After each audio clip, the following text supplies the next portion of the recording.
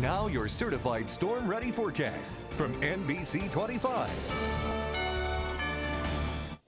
Well, here's a live look outside at downtown Flint, uh, where we had a somewhat milder day today, but still below average. No snow right now, but there is snow out there as we take a look at storm ready Doppler radar, mainly off to the east of Flint from Lapeer County up into Huron County, also sections of uh, Sanilac County getting in on some of the heavier snowfall uh, rates right now. And as we head a little bit further off to the west, uh, we do have more snow uh, just outside of the viewing area that is moving eastward, so watch out for that. Uh, you can see around Big Rapids, uh, Gladwin getting some light snow as well right now. And as we head a little bit further off to the south, in the Flint area, you can see on the west side of town, right around Swartz Creek, we're starting to see a little burst of snow come on through. Could cause some minor problems out on the roadways. Futurecast showing snow covering much of the area this evening. It'll tend to taper off by just after sunrise tomorrow. We'll look for off and on flurries, lots of blowing snow with strong winds through the day tomorrow. Then as we head into your Sunday, the biggest story will just be the strong winds and the cold temperatures,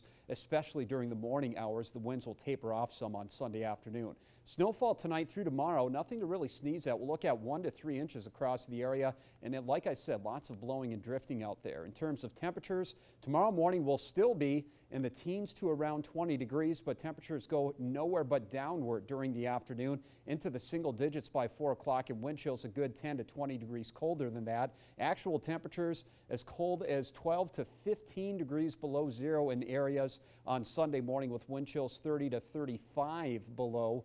And then as we head into the afternoon, we struggle to get much above zero. The record low this morning in Flint was 8 below. That beat our old record by 1 degree set back in 1970. Our average low on this date is 16. We were nowhere near that. Tonight we will be. 15 is where we should hover most of the night. 1 to 3 inches of snow expected, but temperatures drop during the day tomorrow to 3 by afternoon, and wind chills will hover between 8 and 18 degrees below zero. Here's a look at your extended forecast. Tomorrow night, low temperatures dropping all the way down to 13 below. That's on the thermometer. Like I said just a moment ago, wind chills between 30 and 35 below at their coldest on Sunday morning. Sunday afternoon, the winds lighten, the sun comes out, but we only get to 1 for a high. 15 below with near calm winds on Monday morning, 12 on Monday afternoon. Another chance of accumulating snow Tuesday. Bill?